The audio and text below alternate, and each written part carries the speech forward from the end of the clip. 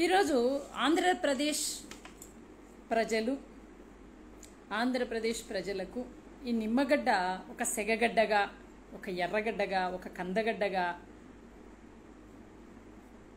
ఇక ఎన్ని గడ్డలుంటే అన్ని గడ్డలుగా మారినారు అన్నది అందరికీ తెలిసిన విషయమే.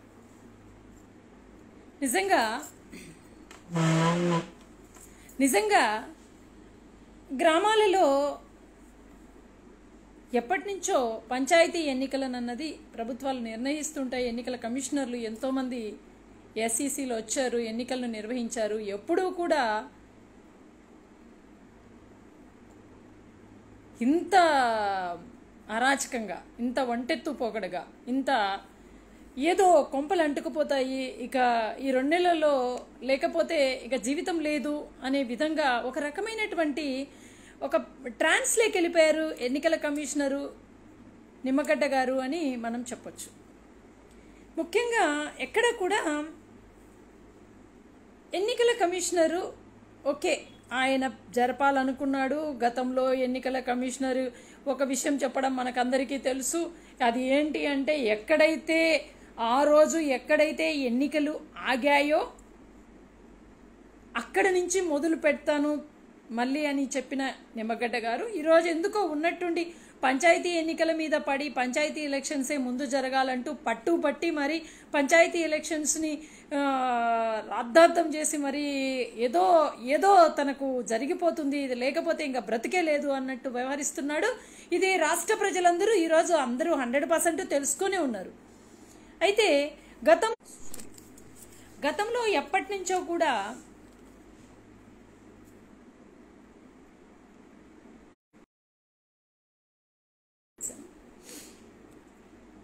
గతంలో కూడా ఎన్నోసార్లు ఎంతోమంది ఎస్సీసీలు వచ్చారు. ఎంతోమంది మరి పంచాయతీ ఎన్నికలను జరిపారు. నిమ్మగడ్డ గారు పాపం ఫస్ట్ టైం ఎన్నికలు జరుపుతున్నారు కాబట్టి నేను చెప్పడం ఏంటంటే ఆయన రాజ్యాంగబద్ధంగా ఒక ఎన్ని రాష్ట్ర ఎన్నికల కమిషనర్గా ఎన్నికైనప్పటి నుంచి కూడా చంద్రబాబు నాయుడు ఏదైతే తన ప్రయోజనాల కోసం ఈ రాష్ట్ర ఎన్నికల కమిషనర్గా నియమించుకున్నారో మరి ఆయన రాజ్యాంగబద్ధంగా జరపవలసినటువంటి ఎన్నికలు ఎందుకు జరగలేదు అన్నదానికి ఎందుకు జరపలేకపోయాడు చంద్రబాబు నాయుడు తన యజమాని అయినటువంటి చంద్రబాబు నాయుడు పీరియడ్లో అన్నది ఆయన ఆయన ఏమంటారు దాన్ని? వదిలేద్దాం. ఆయన విఘ్నతకు వదిలేద్దాం. అయితే ఇప్పుడు ఎలా ఉంది అంటే కథ ఒక చిన్న కథ గుర్తుకొస్తుంది. ఆ కథ చెప్దామని ఆ కథ నిజంగా ఒక ఒకసారి నేను విన్నాను. ఆ కథ ఇప్పుడు ఎందుకో అసందర్భంగా గుర్తొచ్చింది. ఒక గ్రామం ఉండేదంట. ఒక గ్రామం ఉండేదంట. ఆ గ్రామంలో ఒక పురోహితుడు ఉండేవాడట. ఆ పురోహితుడు ఆ గ్రామంలో ఎవరికి పెళ్ళి జరగాలన్నా ఏం చావు జరిగినా ఏం జరిగినా కూడా ఆ పురోహితుడే ఖచ్చితంగా ఉండాలి. ఆ పురోహితుడికి బాగా డిమాండ్ కూడా. ఒక ప్రసిద్ధి చెందిన ఆ పురోహితుడు మరి కొద్ది రోజుల పాటు ఊర్లో లేకుండా బయట కార్య తన కార్యక్రమాల వల్ల తన వృత్తి ధర్మం వల్ల బయట ఉండిపోవాల్సి వచ్చింది. సో ఆయన అన్ని కార్యక్రమాలు ముగించుకొని పల్లెకి వచ్చాడు పల్లెకి వచ్చిన తర్వాత అంటే అప్పటికి సారీ క్షమించండి నాకు కాల్స్ వస్తున్నాయి. ఆయన కొన్ని సంవత్సరాల తర్వాత ఆ గ్రామంలోకి వచ్చాడు ఆ గ్రామంలోకి వచ్చి ఓకే నాకు ఇప్పుడు సమయం దొరికింది నేను ఇప్పుడు ఖాళీ అయిపోయాను నేను ఫ్రీగా ఉన్నాను. మీకు మీరు ఇమీడియట్గా ఇప్పుడు అందరూ కలిసి పెళ్ళిళ్ళు చేసేసుకోండి నేను అందరికీ నేను ఇప్పుడు పెళ్ళిళ్ళు చేసేస్తాను కానివ్వండి అని చెప్పేసి ఒక హుకుం జారీ చేసేసాడు. అప్పుడు వాళ్ళందరూ అయ్యో అది ఎట్లా అవుతుంది మీరు లేరు కదా అని చెప్పి మేము పక్క ఊర్ల నుంచి పురోహితుని పిలిపించుకోనో లేకపోతే ఇంకా మేము గుళ్ళల్లోనో ఎక్కడో పోయి మేము పెళ్ళిళ్ళు చేసేసుకున్నాము. ఇప్పుడు ఎలా అవుతుందయ్యా? నువ్వు ఖాళీగా ఉన్నప్పుడు పెళ్ళి చేసుకోవాలంటే అంటే అదంతా కుదరదు. మీ- నేను చేస్తేనే మీకు చెల్లుబాటు అవుతుంది పెళ్ళి. కాబట్టి నేను మళ్ళీ రెండు మూడు నెలల తర్వాత నేను మళ్ళీ బయటికి వెళ్ళిపోవాలి నా పనులు నాకున్నాయి కాబట్టి మీరు ఇమీడియట్గా ఇప్పుడు చేసుకున్న పెళ్ళిళ్ళు రద్దు చేసుకుని మళ్ళీ చేసుకోండి అన్నాడంట. ఈ ప్రజలందరూ కూడా వీడికేదో పిచ్చెక్కింది వీడేదో వీడి పిచ్చి తీసుకొచ్చి మన మీద రుద్దుతున్నారు అని చెప్పి ఆలోచించి ప్రజలందరూ ఆ పురోహితుని తర్ని తరిమేసి తీసుకెళ్ళి పిచ్ హాస్పిటల్లో జాయిన్ చేశారంట. ఇప్పుడు ఎందుకు నిజంగా ఆ కథ గుర్తుకొస్తుంది అంటే నిమ్మగడ్డ రమేష్కి ఇప్పుడు సమయం దొరికింది. రెండు నెలల తర్వాత తన సమయం లేదు. ఎందుకంటే అప్పుడు వచ్చి నేనే ఎన్నికలు జరుపుతానంటే తన్ని తరిమేస్తారు కాబట్టి. ఈరోజు ఇమీడియట్గా ప్రజల ప్రాణాలతో కానీ శాంతి భద్రతలతో కానీ ప్రభుత్వంతో కానీ ఇక్కడ ఓటర్స్తో కానీ ఎటువంటి సంబంధము నాకు లేదు. నా సమయము ఇప్పుడు అయిపోవస్తుంది కాబట్టి నేను ఇమీడియట్గా ఎన్నికలు జరపాలి. దానికి సిఎస్ అడ్డున్నాడు ప్రభుత్వ సలహాదారు సజ్జల రామకృష్ణారెడ్డి గారు అడ్డున్నారు విజయసాయిరెడ్డి గారు అడ్డున్నారు. ఇంకా ఎవరు ప్రవీణ్ ప్రకాష్ గారు అడ్డున్నారు తర్వాత గోపాలకృష్ణ ద్వివేది గారు అడ్డున్నారు తర్వాత ఐఏఎస్ గిరీష గారు అడ్డం అడ్డున్నారు. వీళ్ళందరూ అడ్డున్నారు. వీళ్ళందరినీ తొలగించేసేయాల్సిందే. నేను నాకు నచ్చిన వాళ్ళను నేను నిర్మించుకుంటాను నేను నియమి నియమించుకుంటాను అంటూ ఒక ముఖ్యమంత్రి పేరు ఒకటే చెప్పలేకపోతున్నాడు. చెప్తే తంతారు అనుకున్నట్టున్నాడు. బహుశా. లేకపోతే అప్పుడే కరెక్ట్గా పిచ్చెక్కిందని ఎతకుపోయి ఎక్కడో ఒక చోట బంధించేసి లేకపోతే ఏ హాస్పిటల్లో పడేస్తారని ఏమన్నా భయపడినట్టున్నాడు.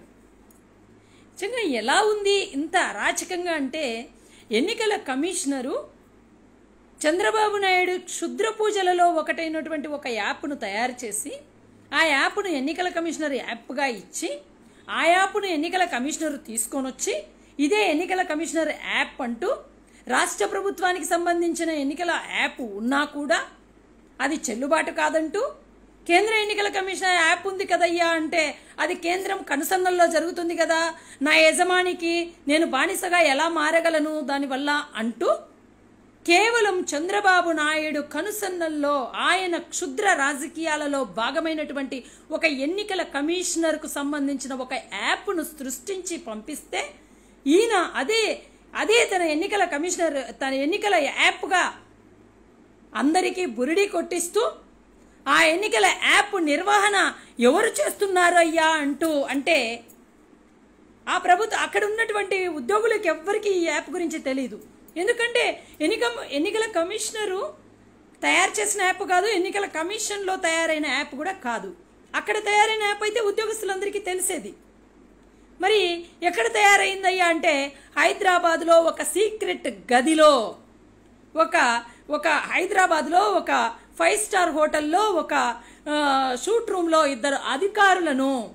ఎవరయ్యా ఆ సచ్చీలులు అంత సత్యహరిశ్చంద్రులు ఆ అధికారులు అంటే గతంలో గతంలో మాజీ మాజీ ఈ ఆంధ్రప్రదేశ్కు మాజీ ఇంటెలిజెన్స్ ఆఫీసర్గా ఇంటెలిజెన్స్ ఆఫీసర్గా ఉన్న ఏబి వెంకటేశ్వరరావు గారైతే ఏమి? ఆయన మీద ఎన్ని ఆరోపణలు ఉన్నాయో ఆయన ఎన్ని చేశాడో ఈ దేశ సంరక్షణకు సంబంధించినటువంటి అత్యంత కీలకమైనటువంటి విషయాలను కూడా శత్రువులకు దాటవేసే విధంగా అదేవిధంగా ఏ విధమైనటువంటి దుశ్చర్యలకు పాల్పడ్డాడో రాజ్యాంగ విరుద్ధమైన ఎన్- ఎటువంటి పనులలో ఇరుక్కున్నాడో కూడా మనందరికీ తెలిసిన విషయమే. అయితే ఎందుకు అంత అంత రాజ్యాంగ విరుద్ధమైనటువంటి పనులు చేశాడు? అంటే తన యజమానేటువంటి చంద్రబాబు నాయుడుకు మేలు కలిగించాలా? ఆయన ఆయనకు మంచి జరగాల? ఆయనను కాపాడాలా? దానికి దానికి ఎంతవరకైనా సరే ఈ దేశానికి దేశకు సంబంధించినటువంటి రహస్యాలను సైతం శత్రువులకు చేరవేయడానికి కూడా నిస్సిగ్గుగా పనిచేసేటువంటి నాయ ఒక ఆఫీసర్ అయినటువంటి మాజీ ఇంటెలిజెన్స్ ఆఫీసర్ అయినటువంటి ఏబి వెంకటేశ్వరరావు అదేవిధంగా మాజీ అడ్వకేట్ జనరల్ అదేవిధంగా చంద్రబాబు నాయుడు నియమించుకున్నటువంటి బానిస అయినటువంటి దమ్మాలపాటి శ్రీనివాస్ వీరిద్దరినీ కూడా ఒక ఫైవ్ స్టార్ హోటల్లో ఒక ఫైవ్ స్టార్ హోటల్లో ఒక సూట్ రూమ్లో వీళ్ళిద్దరిని పెట్టి ఎన్నికల కమిషనర్ యాప్ అని ఒక పేరు పెట్టి చంద్రబాబు నాయుడు క్షుద్ర రాజకీయాలకు ప్రతిరూపము కాదా ఈ యాప్ నిమ్మగడ్డ గారు? అసలు అసలు మీరు రాజ్యాంగబద్ధమైనటువంటి రాజ్యాంగబద్ధమైనటువంటి ప్రజాస్వామ్యబద్ధమైనటువంటి ఒక ఎన్నికల కమిషనర్ హోదాలో ఈ రాష్ట్రానికి పనిచేస్తూ ఎందుకయ్యా ఇంత బానిసత్వాన్ని చూపించాల్సి వస్తుంది? బతుకుతున్నారు మీరు. ఇన్ని సంవత్సరాలు బతికారు. చివరాంకంలో ఉన్నారు. నాకు తెలిసి చివరాంకమే అనుకుంటా. మాకు తెలిసి మేమైతే చెప్పుకుంటాము. ఎందుకంటే అరవై సంవత్సరాలు దాటితే మనం ఉంటామో పోతామో ఎవరికి అంత గ్యారంటీ లేదు ఎవరు ప్రాణాలకి. అదేవిధంగా డెబ్బై సంవత్సరాలు అరవై సంవత్సరాలు దాటిన తర్వాత అంటే ఇంకా అసలు మనం చరమాంకం సారీ సారీ చివరాంకం చరమాంకంలో ఉన్నాము ఆఖరి దశలో ఉన్నాము అన్నదానికి అర్థం. ఈ ఆఖరి దశలో కూడా మీరు ఎందుకు ఇంత బానిసత్వానికి అలవాటు పడిపోయి యజమాని రుణము తీర్చుకోవాలని తహతాలాడుతున్నారో నిజంగా చాలా ఆశ్చర్యం కలుగుతోంది మీ యొక్క అత్యుత్సాహాన్ని చూస్తూ ఉంటే. మరి ఈ ఇద్దరు తప్పుడు అధికారులు వీళ్ళిద్దరూ కూడా ఒకటి గుర్తుపెట్టుకోవాల్సిన అంశం ఏమిటంటే వీరిద్దరూ కూడా చట్టం దృష్టిలో దోషులుగా ఉన్న వాళ్ళే. దమ్మలపాటి శ్రీనివాస్ చౌదరి కదా ఆయన? శ్రీనివాస్ తర్వాత ఏబి వెంకటేశ్వర వీళ్ళిద్దరూ కూడా చట్టం దృష్టిలో దోషులుగా ఉన్న వీరిద్దరిని ఈ యాప్ను తయారు చేయటంలో దీన్ని రన్ చేయటంలో ప్రముఖ ప్రముఖంగా పెట్టి వీళ్ళను ఒక సీక్రెట్ ప్లేస్లో ఉంచి నడుపుతున్నది వాస్తవం కాదా నిమ్మగడ్డ గారు? అది మీ విఘ్నతకు వదిలేస్తున్నాము మీ యొక్క మీ యొక్క ఏమంటారు దాన్ని మీ కుచంచలమైనటువంటి మీ బుద్ధికి వదిలేస్తున్నాము. ఇక ఇంకొక విషయానికి వస్తే తెలుగుదేశం పార్టీ నాయకుడు చంద్రబాబు నాయుడు ఈ పంచాయతీ ఎన్నికలకు సంబంధించి ఏకంగా ఒక మేనిఫెస్టోను రిలీజ్ చేశాడు. దాంట్లో ఏంటయ్యా అంటే పచ్చ పేపరు పచ్చ పేపరు తెలుగుదేశం పార్టీ వ్యవస్థాపకుడైనటువంటి ఎన్టీ రామారావు గారి బొమ్మ ఒక సైకిల్ గుర్తు. ఏంటి ఇది? ఇది రాజకీయ పార్టీకి సంబంధించిన మేనిఫెస్టోగా ఎన్నికల కమిషనర్కు కనపడలేదా?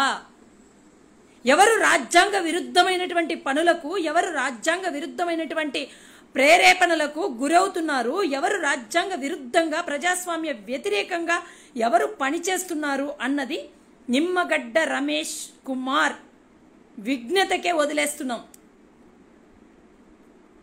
మీరు ఈ రాష్ట్రంలో ఈ ప్రభుత్వం ఏర్పడినప్పటి నుంచి మీ మీ తహతహ చూస్తూ ఉంటే మీ అత్యుత్సాహం చూస్తూ ఉంటే ఏ ఏ స్థాయికి ఏ ఏ స్థాయికి మీరు చేరుకున్నారు అంటే మిమ్మల్ని నమ్మి మిమ్మల్ని తీసుకువచ్చి ఒక స్థానాన్ని కల్పించి మీకు నిజంగా ఈ ఎన్నికల కమిషనర్గా నియమించిన మీ యజమాని రుణం తీర్చుకోవడానికి మీరు ఎంత అత్యుత్సాహపడుతున్నారు అన్నది చూస్తే నిజంగా చాలా ఆశ్చర్యం కలుగుతోంది. ఎవరైనా ఇలాంటి ఇలాంటి రుణాన్ని తీర్చుకునే బాధ్యతను తలకెత్తుకుంటారా?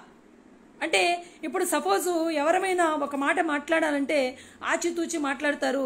ఒక మాట మాట్లాడితే దాని అర్థం ఏమైనా ఇలా వెళ్ళిపోతుందేమో అని మాట్లాడతారు. ఒకవేళ ఏదైనా ఇది మాట్లాడితే దాన్ని వేరేగా డైవర్ట్ అవుతుందేమో అని ఆలోచిస్తారు.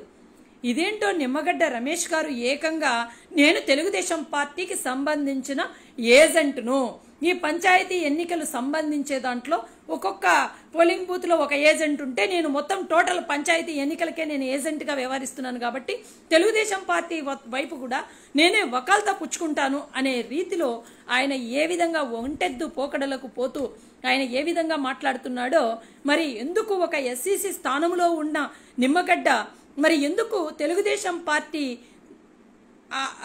చంద్రబాబు నాయుడు మీద కానీ తెలుగుదేశం పార్టీ మీద కానీ ఎందుకు చర్యలు తీసుకోలేకపోతున్నాడు ఎన్నికల కమిషనర్గా? తను ఎందుకు రాజ్యాంగ పదవిలో ఉన్నటువంటి రాజ్యాంగానికి ఉల్లంఘనైనటువంటి కొన్ని పనులను కూడా ఎందుకు ఆయన వ్యతిరేకరించలేకపోతున్నాడంటే తన యజమాని తన యజమాని తన యజమాని రుణం తీర్చుకునే దాంట్లో భాగంగానే పాపం నిమ్మగడ్డ రమేష్ ఆఖరికి తను ఈ స్థాయికి కూడా దిగజారిపోయాడు అన్నది అందరికీ జగమెరుగున సత్యం. ఇందులో ఏ తప్పు లేదు. ఎందుకంటే చర్యలు తీసుకోవాల్సి వస్తే ఫస్ట్ మొట్టమొదట తీసుకోవాల్సింది ఎవరి మీదయ్యా అంటే తెలుగుదేశం పార్టీ మీద చంద్రబాబు నాయుడు మీద. అదేవిధంగా దాని తర్వాత వస్తే ఇలాంటి వాటిని ప్రోత్సహిస్తూ ఒక ఒక వ్యక్తికి ఒక వ్యక్తికి మీరు రాజ్యాంగబద్ధంగా ఉన్న తర్వాత రాగద్వేషాలకు అదేవిధంగా మీ యొక్క సన్నిహితులకు కానీ సహచరులకు కానీ ఒక వ్యక్తి ప్రయోజనాలకు కానీ మీరు లబ్ధి చేకూరే విధంగా మీరు పని చేయకూడదు.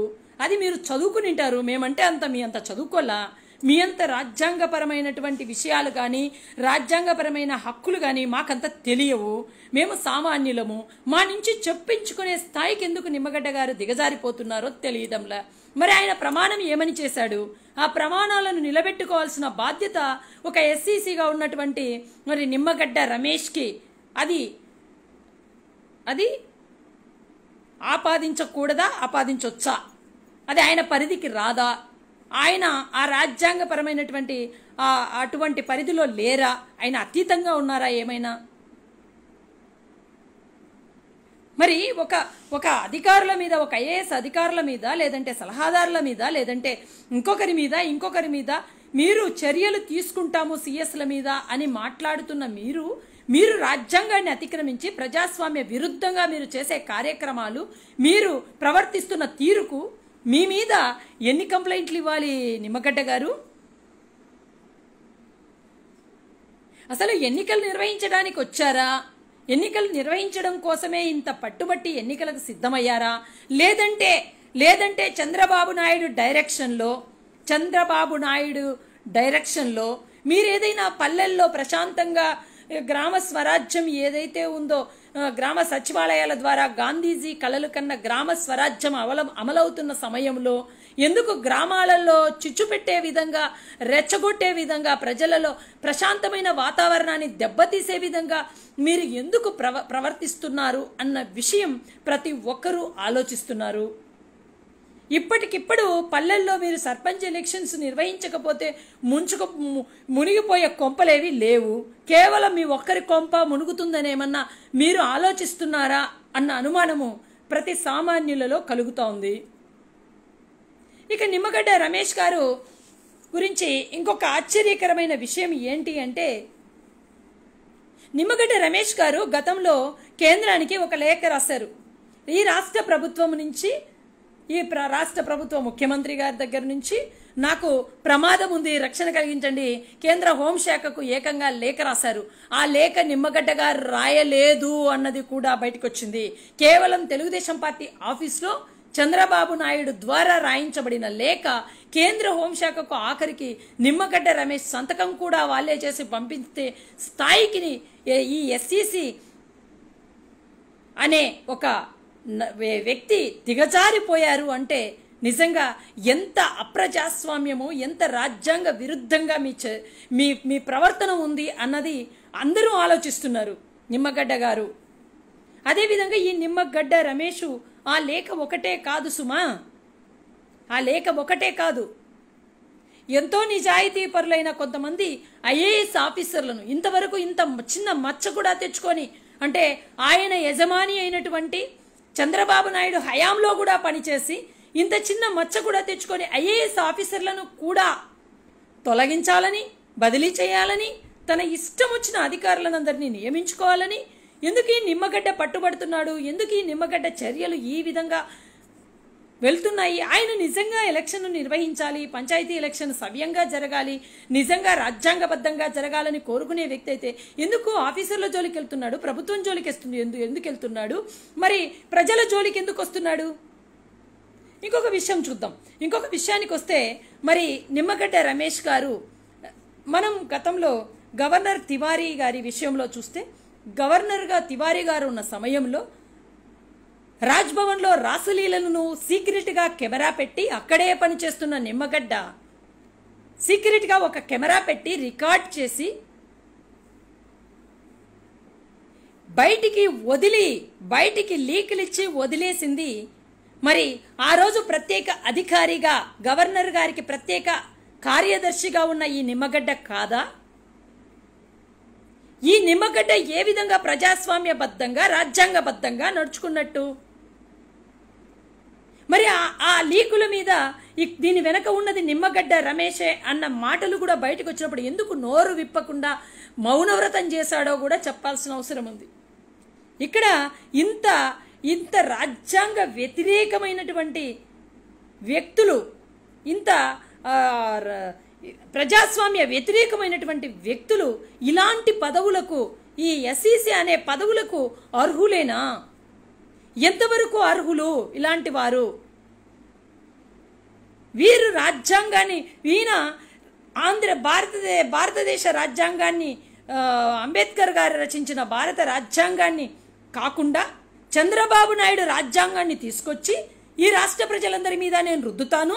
నేను ఎలా చెబితే ఇది చంద్ర రాజ్యాంగము. ఈ చంద్ర రాజ్యాంగాన్ని ప్రతి ఒక్కరూ ఫాలో అవ్వాల్సిందే. ఇదే వేదం అని మాట్లాడితే అని ఆర్డర్స్ పాస్ చేస్తే పాటించటానికి ప్రజలు ఏమైనా పిచ్చోళ్ళా? లేకపోతే ఏమైనా మీలాగా ఏమైనా బానిసలా? కాదు కదా. ప్రజలకు హక్కులున్నాయి కదా. మీకు మీ సొంత ఊరిలో అంతెందుకు నిమ్మగడ్డ గారు మీకు మీ సొంత ఊరిలో మీ హక్ మీ ఓటును తొలగించేస్తే మీ ఓటును తొలగించేస్తే మీరేం చేశారు నిమ్మగడ్డ గారు? మీ ఓటును తొలగించేస్తే మీరు రాజ్యాంగంలోని ఆర్టికల్ త్రీ ట్వంటీ సిక్స్ ప్రకారము ఇది నేరము. నా నా ఓటు హక్కు నాకు కావాలి అంటూ మీరు ఒక ఎన్నికల కమిషనర్గా ఉన్న మీరు సిగ్గు మానం వదిలేసి కోర్టుకు వెళ్ళిపోయారు మరి ఈ రాష్ట్రంలో మరి ఈ రాష్ట్రంలో రెండు వేల పంతొమ్మిది నుంచి ఇప్పటి వరకు ఓటుకు హక్కుకు అర్హులైన మూడు పాయింట్ ఆరు లక్షల మంది ఎవరైతే ఓటర్స్గా అర్హత కలిగి ఉన్నారో వారందరూ మనుషులు కాదా వారికి? ఈ రాజ్యాంగం ఉన్నటువంటి ఆర్టికల్స్ ఏవి వర్తించవా?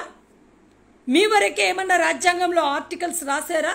ఒక ఎస్ఈసి నిమ్మగడ్డ గారికి మాత్రమే ఓటు హక్కు తొలగిస్తే రాజ్యాంగంలో ఉన్న సెక్షన్స్ అన్ని ఆర్టికల్స్ అన్నీ కూడా ఈయనకు మాత్రమే వర్తిస్తాయనేమైనా రాసుకున్నారా? మీరు రాశారా? చంద్రబాబు నాయుడు రాశారా? లేకపోతే ఇది ఎవరి రాజ్యాంగం అమలు చేస్తున్నారు నిమ్మగడ్డ గారు? చంద్రబాబు రాజ్యాంగమా? నారావారి రాజ్యాంగమా? ఏ రాజ్యాంగాన్ని మీరు అమలు చేయాలనుకొని అందరి చెవుల్లో పువ్వులు పెట్టాలని మీరు నిర్ణయించుకున్నారన్న తెలిసిన చెప్పాల్సిన అంశము. ఇంకొకటి ఏంటంటే ఈ మూడు పాయింట్ ఆరు లక్షల మంది పిల్లలు ఎవరైతే ఉన్నారో మాకు ఓటు హక్కు కల్పించండి అంటూ కోర్టుకు పోతే కోర్టులు వీళ్ళ విషయాలలో ఏ హక్కులు పనిచేయాల. కోర్టులు వీళ్ళ మాటల్ని కనీసం చెవులో కూడా వేసుకోలేదు. కనీసం ఓ కోర్టులు వీళ్ళకు ఓటు హక్కు కలిగించే వరకు కూడా ఆగలే ఆగాల్సిన అవసరం లేదు. మీరు ఇమీడియట్గా అత్యవసరంగా ప్రజలను ఎక్కడ వాళ్ళని అక్కడ నిర్బంధించేసి మీరు ఒక ఉగ్రవాద చర్యగా మీరు ఈ ఎన్నికలకు వెళ్ళండి అంటూ ఆర్డర్ ఇవ్వడం ఎంత ప్రజాస్వామ్యమో ఒకసారి ఆలోచించాల్సిన అవసరం ఉంది. మరి మూడున్నర లక్షలు ఏదైతే త్రీ పాయింట్ సిక్స్ ల్యాక్స్ మంది పీపుల్స్ ఎవరైతే ఓటు హక్కుకు ఎలిజిబిలిటీ కలిగి ఉన్నారో వారి ఓటు హక్కులకు మరి కాల రాసే విధంగా ఈరోజు తీసుకున్న చర్యలు రాజ్యాంగ విరుద్ధం కాదా? ప్రజాస్వామ్య వ్యతిరేకమైన చర్యలు చేస్తున్న మీరు దోషులు కాదా? వారి ఓటులు ఓటు కాదా? వారి ఓటు హక్కును వినియోగించుకోవడానికి పౌరులుగా వారికి హక్కు లేదా? కేవలం నిమ్మగడ్డ గారికి మాత్రమే ఓటు పోతే బాధ కలిగింది. మరి మూడున్నర లక్షల మంది ఓటు హక్కును కోల్పోతుంటే వారి బాధలు వారి మనోభావాలు వారి హక్కులు పట్టించుకోవడానికి ఈ న్యాయస్థానాలకు కానీ ఈ వ్యవస్థలకు కానీ కాసింత తీరిక కానీ కాసింత జ్ఞానం కానీ లేదా? అసలు ఎక్కడికి వెళ్ళాలి ప్రజలు? వ్యవస్థలను కాపాడాలంటే హక్కులను కాపాడుకోవాలంటే? రాజ్యాంగంలో వాళ్ళకు వాళ్ళకు ఉన్నటువంటి హక్కులను వాళ్ళు పొందాలంటే ప్రజాబద్ధమైనటువంటి అంశాలను వాళ్ళు ప్రస్తావించాలంటే ఎక్కడికి వెళ్ళాలో చెప్పండి కనీసం. ఈ ఈ నిమ్మగడ్డ రమేష్ గారికి హఠాత్తుగా పంచాయతీ ఎన్నికలు ఎందుకు గుర్తొచ్చాయి? మరి ప్రభుత్వం ఆ రోజు ఎన్నికలు నిర్వహించాల్సిందే అంటూ మరి ఆ రోజు ఎన్నికలు జరిగే టైంకి ఒకటి రెండు కేసులు ఉన్నప్పుడు ఎందుకు ఈయన వద్దని ఏకంగా సుప్రీంకోర్టుకి వెళ్ళిపోతాడు? ఈరోజు ఏ విధంగా ఎన్నికలు జరపాల్సిందే అంటూ ఈరోజు ఎందుకు ఇంత ఇంత కుసంస్కారిలాగా ప్రవర్తిస్తున్నాడు అన్నది ఆయన విఘ్నతకే వదిలేయాలి. ప్రజలందరూ కూడా వీ ఈ వీళ్ళ వీళ్ళ చర్యలను వీళ్ళ దురుద్దేశాలను వీళ్ళ యొక్క అసంబద్ధమైనటువంటి వీరి ప్రేలాపనలను నిజంగా గమనిస్తున్నారు. అదేవిధంగా ఎప్పుడో ఎప్పుడో ఎన్టీ రామారావు గారి ముఖ్యమంత్రిగా ఉన్న సమయంలో తెలుగుదేశం పార్టీ వ్యవస్థాపకుడు ఎన్టీ రామారావు గారు ముఖ్యమంత్రిగా ఉన్న సమయంలోనే రాజ్యాంగంలో మరి ఈ పంచాయతీ ఎన్నికలకు సంబంధించి ప్రోత్సాహకాలను అందించే విధంగా ప్రాం పల్లెలలో గ్రామీణ ప్రాంతాలలో శాంతి భద్రతలను నెలకొల్పే విధంగా గ్రామాల గ్రామాల ఉన్నతిని ఉన్నతిని అభివృద్ధిని కాంక్షించే విధంగా మరి రాజ్యాంగంలో చట్టం చేసినప్పుడు ప్రోత్సాహకాలను మెన్షన్ చేసినప్పుడు ఈ ప్రోత్సాహకాలన్నవి రాజ్యాంగ బద్ధమైనవి అని మెన్షన్ చేసినప్పుడు చంద్రబాబు నాయుడు ఎవరిని పొడుస్తున్నాడు ఈ పోటుగాడు? చంద్రబాబు నాయుడు అనే పోటుగాడు ఎవరికి పోటు పొడుస్తున్నాడు ఆ సమయంలో? లేడా చంద్రబాబు నాయుడు? ఈరోజు పల్లెలు సుభిక్షంగా ఉండాలని పల్లెలు పంచాయతీలలో జరిగేదంతా పల్లె ప్రాంతాలు కాబట్టి పల్లెల్లో కక్షలకు అదేవిధంగా విధ్వంసాలకి అదేవిధంగా శత్రుత్వాలకి అదేవిధంగా గొడవలకి రచ్చలకు ఇటువంటి అన్నింటికీ పులి స్టాప్ పెట్టే విధంగా ఏకగ్రీవాలను ప్రోత్సహిస్తూ ఏకగ్రీవాలను ప్రోత్సహించు ప్రోత్సాహకాలు అందించి ఆ గ్రామ అభివృద్ధికి తోడ్పడే విధంగా ప్రభుత్వము ఒక మెసేజ్ ఇస్తే ప్రోత్సాహకాలను ప్రకటిస్తే ఏదో వీళ్ళ కొంపలు అంటకపోతాయి అన్నట్టు లేదు గ్రామాలలో గొడవలు జరగాల్సిందే లేదు గ్రామాల్లో కొట్టుకు చావాల్సిందే గ్రామాలలో ఒకరి మీద ఒకరు కత్తులతో పొడుచుకోవాల్సిందే ఒకరి మీద ఒకరు కక్షలు విధ్వంసాలు అన్నింటినీ కొనసాగించాల్సిందే రక్తపాతం జరిగి తీరాల్సిందే అంటూ చంద్రబాబు నాయుడు రచించిన రాజ్యాంగాన్ని ఫాలో అవుతున్న నిమ్మగడ్డ గారు కానీ చంద్రబాబు నాయుడు గారు కానీ ఎందుకు మీరు ఎందుకు మీరు ఏకగ్రీవాలను వ్యతిరేకించే దిశగా మీరు ప్రయా పయనిస్తున్నారు? ఏకగ్రీవాలను వ్యతిరేకించే వాళ్ళకు మరి ఈ రాజ్యాంగ వ్యతిరేక శక్తులుగా ముద్ర వేసి వాళ్ళ మీద చర్యలు తీసుకోవాల్సిన బాధ్యత ఎవరిది? వీటన్నింటి మీద నిజంగా వీటన్నిటిని చూస్తూ ఉంటే బాధ కలుగుతోంది. ఎక్కడున్నాం మనం ప్రజాస్వామ్యంలో ఉన్నామా?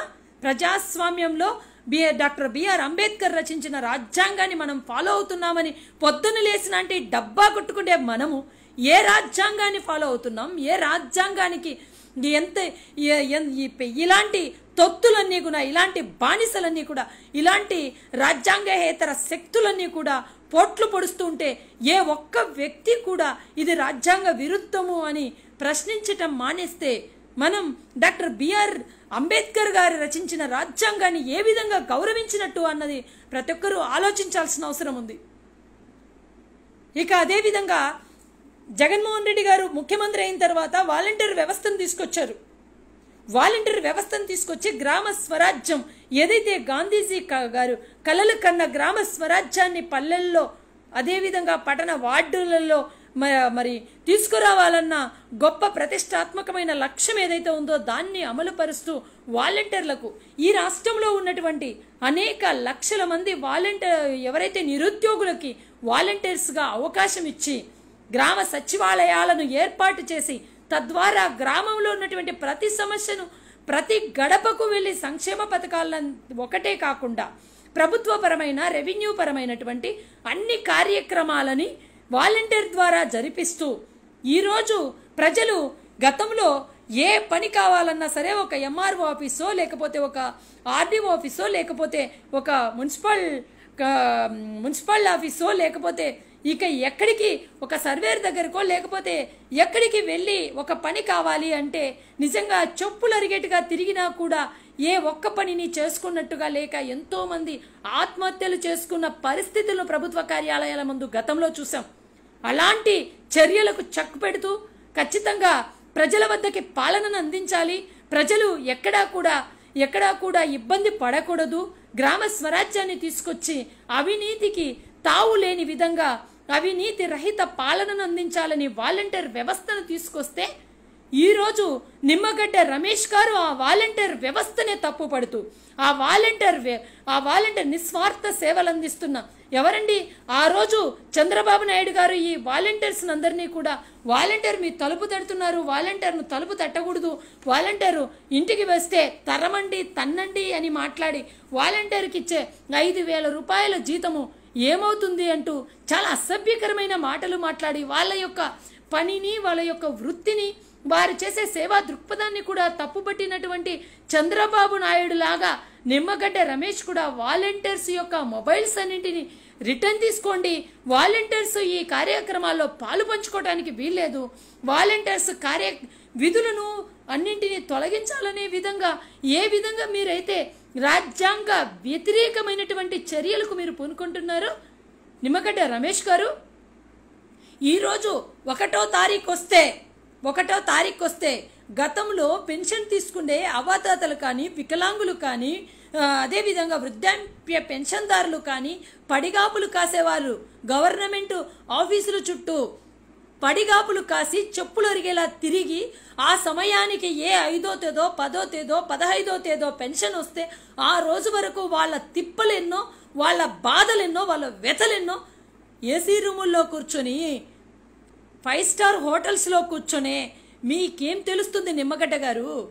ఈరోజు వాలంటీర్ ఒకటో తేదీ వచ్చిందంటే తెల్లవారుజామున నాలుగు గంటలకు ఐదు గంటలకే తలుపు తట్టి అవ్వా తాతలకు పెన్షన్ అందిస్తున్న దేవుళ్ళు వాలంటీర్లు. ఈరోజు వాలంటీర్ అన్న వ్యక్తి ఆ అవ్వ తాత ఏ బ్యాంకుల దగ్గరకో లేకపోతే ఏ జన్మభూమి కమిటీ సభ్యుడి దగ్గరికో పోయి మోసపోకుండా ఏ ప్రభుత్వాధికారి దగ్గరికో పోయి లంచం ఇచ్చుకోవాల్సిన అవసరం లేకుండా వాలంటీరే తలుపు తట్టి నాలుగు గంటలకో ఐదు గంటలకో ఒకటవ తేదీనే పెన్షన్ అందిస్తున్న ఈ సమయంలో మీకు వాలంటీర్లు రాజ్యాంగేతర శక్తులుగా కనిపిస్తున్నారా? లేకపోతే మిమ్మల్ని మిమ్మల్ని మీ యొక్క అసమర్థతను ప్రశ్నించడానికి వచ్చిన వీరుల్లాగా ధీరుల్లాగా కనిపిస్తున్నారా? లేకపోతే మీకు ఎలా కనిపిస్తున్నారో మాకు తెలియదు కానీ ప్రతి అవ్వ తాత ముఖాలలో చిరునవ్వు కల్పిస్తోందంటే ఈరోజు రాష్ట్ర ప్రభుత్వము రాష్ట్ర ముఖ్యమంత్రి అదేవిధంగా వాలంటీర్. సరిగ్గా సమయానికి ఎక్కడికి వెళ్ళకోకుండానే ఆ అవ్వ తాత నడవలేని ఆ అవ్వ తాత నడవలేని చూడలేని తీసు బయటికి రాలేని వికలాంగులకి అదేవిధంగా ఒంటరి మహిళలకు వితంతు మహిళలకు ఈరోజు ఆర్థికంగా ఆర్థికంగా సమయానికి అంది చేతికి వస్తోంది మన ఇంటికి వస్తోంది అంటే అది అందిస్తున్న వాలంటీర్ల మీద మీ ప్రతాపం.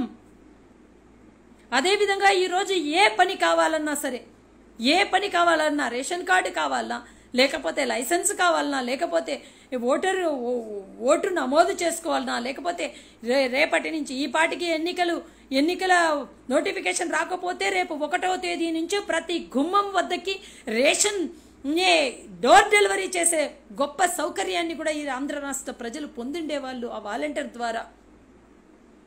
ఈరోజు ఈరోజు ఈ ఆంధ్రప్రదేశ్లో ముప్పై లక్షల పైచులకు అక్క చెల్లెమ్మలు సొంత ఇంటిని తీసుకోగలిగారు పట్టాను అర్హులు అని అంటే అర్హులు అంటే అనర్హులకు చా చోటు లేకోకుండా అర్హులకు మాత్రమే ముప్పై లక్షల పైచులకు అక్క చెల్లెమ్మలు ఈ సొంత ఇంటి కళ నెరవేరే విధంగా పట్టాను పొందగలిగారు అంటే అది కేవలం ఒక వాలంటీర్ కృషి అన్నది మర్చిపోతున్నారు. మీలాంటి దుష్ దుష్ట శక్తులు ఎవరైతే ఉన్నారో మీలాంటి వాళ్ళందరూ కూడా మర్చిపోతున్నారు నిమ్మగడ్డ గారు. అలాంటి వాలంటీర్ను మీకేదో మీకేదో అసంఘిక శక్తిలాగా మీ పాలిట మృత్యుదేవతలాగా మీ పాలిట శత్రువులను వధించడానికి వచ్చిన శ్రీకృష్ణుడిలాగా సత్యభామల్లాగా మీకు కనిపిస్తున్నారు అంటే మీరు ఎంత మీరు ఎంత అసాంఘిక కార్యక్రమాలకు అప్రజాస్వామ్యానికి రాజ్యాంగ హేతరంగా మీరు ఏ విధంగా ప్రవర్తిస్తున్నారన్నది మీ విఘ్నత కొదులుతున్నాము. తెలుసుకోండి. ఈరోజు ఎన్నికలకు సిద్ధపడిపోయారు ప్రజలు. ఈరోజు ఎన్నికలకు సిద్ధపడిపోయారు. ఈరోజు కొత్తగా ఎవరో తీసుకొచ్చింది కాదు ఏకగ్రీవాలన్నది. రాజ్యాంగబద్ధమైనటువంటి ఏకగ్రీవాలను. రాజ్యాంగబద్ధంగా ఎంతోమంది ఎస్సీసీలు వచ్చారు. ఇప్పటి వరకు ఏ ఎస్సీసీ అబ్జెక్షన్ చెప్పని ఏకగ్రీవాలను ఈరోజు ఎందుకు నిమ్మగడ్డకే అబ్జెక్షన్ వచ్చింది అంటే ఈ సంక్షేమ పథకాలను చూసి ఈ ప్రోత్సాహాలు గ్రామ అభివృద్ధికి తోడ్పడే విధంగా ఈ ప్రోత్సాహకము ఏకగ్రీవం అవుతాయి ఇక్కడ పార్టీలకు అతీతంగా జరుగుతున్న ఎన్నిక ఇది. ఇక్కడేం వైఎస్ఆర్ కాంగ్రెస్ పార్టీ బొమ్మేసుకోను టీడీపీ బొమ్మేసుకొని జరగడం లేదు ఇక్కడ. చంద్రబాబు నాయుడు ఒక అడుగు ముందుకేసి ఎలక్షన్ మేనిఫెస్టో అంటూ రాజ్ ఈ రాజ్యాంగానికి వ్యతిరేకంగా మరి మీ యొక్క మీ యొక్క ఏదైతే ఎన్నికల కమిషనర్ కూడా కమిషన్ కూడా వ్యతిరేకంగా ఆయన మేనిఫెస్టోను విడుదల చేస్తే అడగలేని చర్యలు తీసుకునే దద్దమ్మ నిమ్మగడ్డ గారు అని మేము చెప్పగలుగుతున్నాం. ఎందుకంటే మీరు నిజంగా అలాంటి అలాంటి ప్రశ్నించని పని చేశారు కాబట్టి. మాకు హక్కు ఉంది మీరు మీ హక్కులను ఫాలో కాకపోతే మీరు మీ మీ యొక్క పరిధిలో ఉన్నటువంటి అంశాలు మీరు నిజంగా ఒక ప- నిష్పక్షపాతంగా వ్యవహరించకపోతే మీరు పక్షపాత ధోరణి చూపిస్తే అడిగే హక్కు మాకు కూడా ఉంది నిమ్మగడ్డ గారు. ఇక ఒక గవర్నర్ ఆఫీస్లోనే కెమెరాలు పెట్టి మరి గవర్నర్ తివారీ గారి రాసలీలలు అంటూ బయటికి మీడియాకు లీకులు ఇచ్చి ఆ రోజు ప్రత్యేక కార్యదర్శిగా ఉన్న నిమ్మగడ్డ లాంటి వాళ్ళు ఇలాంటి రాజ్యాంగబద్ధమైన పదవులకు అనర్హులు. కాబట్టి ఇలాంటి వ్యక్తిని అక్కడ రాజ్యాంగంలో ఉండడమే పెద్ద తప్పు అయితే ఏకంగా ఈరోజు అందరినీ ప్రశ్నిస్తూ ఏకంగా ప్రభుత్వమే కాదు ప్రతి ఒక్క ఒక్క ఐఏఎస్ ఆఫీసర్స్ని కానివ్వండి మరి ఉన్నతాధికారులను కానివ్వండి అదేవిధంగా ప్రజలను కూడా ప్రశ్నిస్తూ ఏ విధంగా రక్తపాతాలకు గొడవలకు మరి అదేవిధంగా కక్షలకు అదేవిధంగా రచ్చలకు ఏ విధంగా తెరలేపే విధంగా చంద్రబాబు నాయుడు రాజ్యాంగాన్ని ఫాలో అవుతున్న నిమ్మగడ్డ గారు వ్యవహరిస్తున్నారో. ఇది రాష్ట్ర ప్రజలందరికీ తెలిసిన విషయమే. ఇంకా రాజ్యాంగాన్ని ఏమాత్రమూ గౌరవించని లీడర్ గాని లీడర్ అయినటువంటి చంద్రబాబు నాయుడు తన యజమాని కాబట్టి ఆ లీడర్ గాని లీడర్ని లీడర్ చేద్దామనే గొప్ప సంకల్పాన్ని నెత్తికెత్తుకున్న నిమ్మగడ్డ ఈ రెండు సంవత్సరాలలో తన పదవీ కాలం ముగిసుకొని వెళ్ళిపోతున్నా కాబట్టి ఈ లోపల తాను చేయాల్సిన రాజకార్యం ఏదైతే ఉందో చంద్రబాబు నాయుడుకు మేలు చేసే అంశము ఎంత పెద్దదైనా సరే ఎటువంటి ఇబ్బంది తలెత్తినా సరే దానికి డైరెక్ట్గా డైరెక్ట్గా ఎదురొడ్డైనా సరే ఒక ఎన్నికల కమిషనర్గా ఒక ఎస్ఈసిగా కాకుండా తెలుగుదేశం పార్టీ నాయకుడిలాగా వ్యవహరిస్తూ ఒంటెద్దు పోకడలకు పోతున్నటువంటి ఈ నిమ్మగడ్డ రమేష్ గారు. ఎక్కడికి వెళ్ళాలో తెలుసు కదా? నిమ్మగడ్డ కారు వెళ్ళాల్సింది ఎన్నికలకు కాదు ఎర్రగడ్డ మెంటల్ హాస్పిటల్కి వెళ్ళాలి ఎర్రగడ్డ హాస్పిటలే నిమ్మగడ్డకు సరైన ప్లేస్ తప్ప ఈ ఆంధ్రప్రదేశ్ కాదు.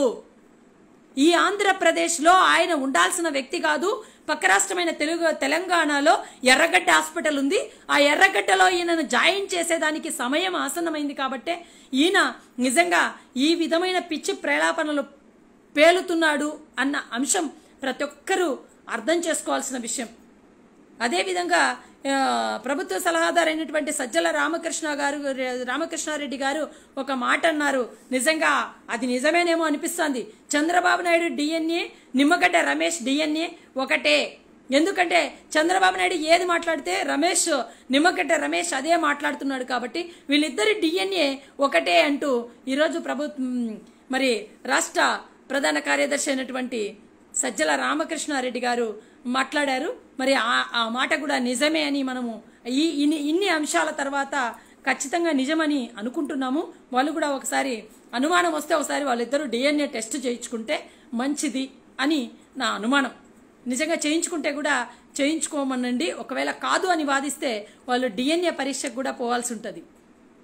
ఇన్ని ఇన్ని అసంఘిక కార్యక్రమాలకు పాల్పడుతూ ఇన్ని అసంఘిక కార్యక్రమాలకు పాల్పడుతూ గ్రామ అభివృద్ధికి వ్యతిరేకంగా శాంతి భద్రతలకు వ్యతిరేకంగా ఎంత నిష్పక్ష పాతాన్ని వద ఈ ప్రభుత్వము నిష్పక్షపాతంగా జరగాలి అంటే లేదు ప్రక్ష పక్షపాతంగా జరగాల్సిందే రక్తపాతం జరగాల్సిందే అని ఏ విధంగా నిమ్మగడ్డ చంద్రబాబు కోరుకుంటున్నారో ఇలాంటి ఇలాంటి అదృశ్య శక్తులను ఇలాంటి నీరో చక్రవర్తి లాంటి శక్తులను ఇలాంటి ఉగ్రవాదులను ఇలాంటి అవినీతి పరులను ఇలాంటి దుష్ట శక్తులను రాక్షసులను తన్ని తరిమేయాలి మన ఆంధ్ర రాష్ట్రం నుంచి అని అందరికీ పిలుపునిస్తూ ఖచ్చితంగా ప్రతి ఒక్కరూ ఆలోచించాల్సిన అవసరం ఉంది. ఖచ్చితంగా ఈ విషయంలో ఇప్పుడు ఇంత పకడ్బందీగా అధికారులు ఎవ్వరూ ఉండకూడదు.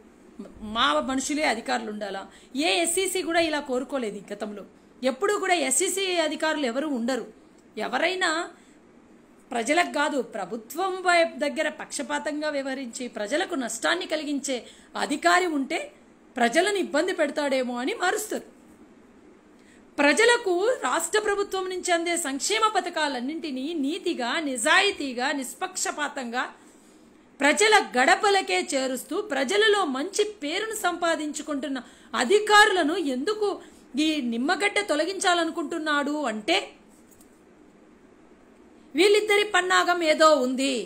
ఈ రాష్ట్రంలో ఈ రాష్ట్రంలో మత విధ్వంసాలను కుల విధ్వంసాలను అదేవిధంగా ఈ రాష్ట్రంలో ఈ శాంతి భద్రతలకు విఘాతం కలిగించే విధంగా అదేవిధంగా కక్షలను అదేవిధంగా ఫ్యాక్షనిజాన్ని నిద్రలేపే విధంగా రెచ్చగొట్టి పల్లెల్లో మీరు కొట్లాడాల్సిందే చంపాల్సిందే నరకాల్సిందే అంటూ ఏ విధంగా ఏ విధంగా చంద్రబాబు నాయుడు ఆదేశాలు జారీ చేస్తున్నాడో అది చంద్రబాబు నాయుడు ఆదేశాలే నిమ్మగడ్డ ఆదేశాలు కూడా కాబట్టి వీళ్ళిద్దరూ ప్రజా వ్యతిరేక శక్తులు వీళ్ళు ఉగ్రవాదుల కంటే ప్రమాదకరమైనటువంటి వాళ్ళు. ఇలాంటి వ్యక్తులు ఇలాంటి వ్యక్తులు ప్రజల అభివృద్ధిని ప్రజల శాంతి భద్రతలను అదేవిధంగా గ్రామాల శాంతి భద్రతలను గ్రామాల అభివృద్ధిని కాంక్షించని వ్యక్తి రాజ్యాంగ విరుద్ధమైనటువంటి వ్యక్తిగా ఉగ్రవాదిగా ముద్ర వేయాల్సిన అవసరం ఉంది.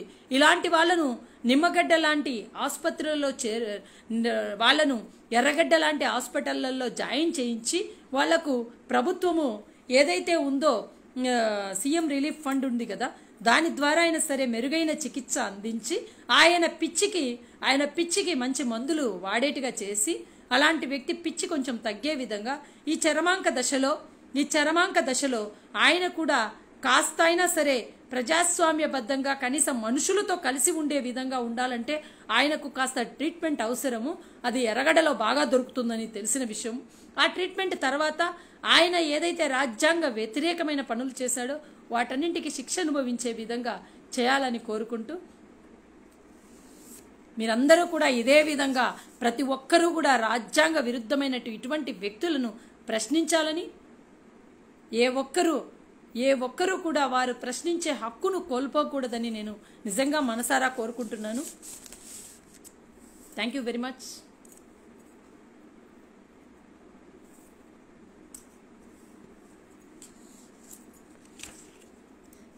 ఇంకా నిమ్మగడ్డ రమేష్ ప్రెస్ మీట్ అయిపోతూ కొన్ని ప్రశ్నలు మీడియా జర్నలిస్టులను అడిగితే నో కామెంట్ అంటూ అంటే ఆల్రెడీ ఈరోజు నేను వినడం జరిగింది. ఆల్రెడీ జర్నలిస్టులందరికీ కూడా ఈ ప్రెస్ మీట్ తర్వాత ఒక్క ప్రశ్న కూడా వేయకండి. దయచేసి నన్ను ఇబ్బంది పెట్టకండి అంటూ ఆయన ఒక రకమైన మెసేజ్ను పాస్ చేశాడు జర్నలిస్టులకి. అనే స్థాయికి వెళ్ళిపోయాడు నిమ్మగడ్డ అంటే నిమ్మగడ్డ రమేష్ అనే వ్యక్తి ఎవరి ఆధీనంలో ఉన్నాడు? లేదంటే ఆయనకేదైనా ప్రమాదం పొంచి ఉందా? ఆయన ఏమైనా ఆ ప్రమాదం నుంచి తప్పించుకోవడం కోసం ఇలాంటి ఇలాంటి చర్యలకు పునుకుంటున్నాడా? అలాంటి వ్యక్తికి ప్రమాదాలు ఏమన్నా జరిపి ఆయనను చంపేస్తే ఒకవేళ చంద్రబాబు నాయుడు అండ్ కో వాళ్ళు చెప్పినట్టు వినకుండా చంపేస్తే బాధ్యత ఎవరిది? కాబట్టి ఆ- ఆ ఇది ఆల్రెడీ ఆల్రెడీ నిమ్మగడ్డ రమేష్ ప్రభుత్వంతో తలపడుతున్నాడు కాబట్టి అది ప్రభుత్వానికి ప్రభుత్వం మీద ఎక్కడ ఆ ప్రభావాన్ని చుట్టుకుంటుందో అని భయంగా ఉంది కాబట్టి దయచేసి ఇలాంటి వ్యక్తిని ప్రభుత్వమైన చర్యలు తీసుకొని సత్వరం ఇలాంటి వ్యక్తికి ట్రీట్మెంట్ కోసం తరలించాలా? భద్రతను కల్పించాలా? ఇలాంటి వ్యక్తిని ప్ర ప్రస్తుతం ప్రస్తుతం ఆంధ్రప్రదేశ్ ప్రజల మధ్య కాకుండా ఎందుకంటే ఆంధ్రప్రదేశ్ ప్రజలు అందరూ కూడా చెప్పుకుంటారు సౌమ్యులు సౌమ్యులు మంచి వాళ్ళు మంచి చేస్తే ఎక్కడికైనా ఎంతవరకైనా మంచి చేస్తారు చెడు చేస్తే తీస్తారు అన్నది చాలామంది మాట్లాడుకుంటారు.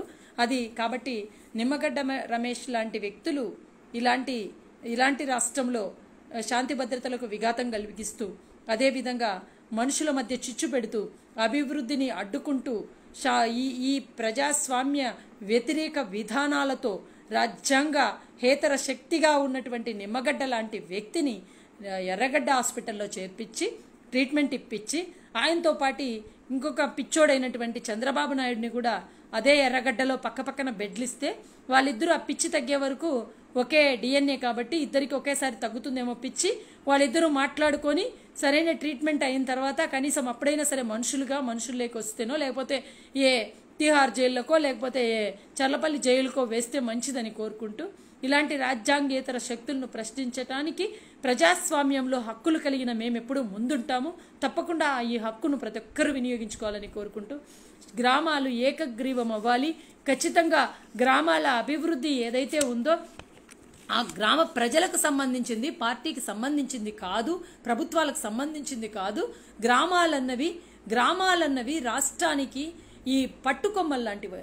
ఎందుకంటే ఆ గ్రామాలన్నవి అభివృద్ధికి కూడా పట్టుకొమ్మలుగా మారి ఆ గ్రామ అభివృద్ధి చెందితేనే ఎప్పుడూ కూడా ఆ రాష్ట్రము ఆ- ప- పట్టణము ఆ రాష్ట్రము ఆ దేశము అభివృద్ధి చెందాలంటే మొట్టమొదట అభివృద్ధి చెందాల్సింది గ్రామాలు కాబట్టి ఈ గ్రామ వ్యవస్థ అన్నది నిజంగా చాలా కీలకం కాబట్టి ఈ గ్రామాలు ఏకగ్రీవమై ఆ ప- ఆ ప్రోత్సాహకాలు ఏవైతే ఉంటాయో ఆ రివార్డ్ ఏదైతే ఉందో అది గ్రామాభివృద్ధికి వినియోగించుకుంటూ గ్రామీణ ప్రాంతాలలో ప్రజలందరూ కలిసిమెలిసి శాంతి భద్రతలతో అదేవిధంగా సుఖ సంతోషాలతో ఉండాలి సోదరభావంతో మెలగాలంటే ఖచ్చితంగా ఏకగ్రీవాలను ప్రోత్సహించండి ఏకగ్రీవాలను ఆమోదించండి ఏక అందరూ కూర్చొని ఒక మాట మీదకి వచ్చి మీరందరూ గ్రామాలలో ఏకగ్రీవం అవ్వాలని మనసారా కోరుకుంటూ ఇలాంటి ప్రోత్సాహ ఇలాంటి ఇలాంటి వాటిని ప్రోత్సహిస్తున్న ప్రభుత్వానికి ధన్యవాదాలు తెలుపుకుంటూ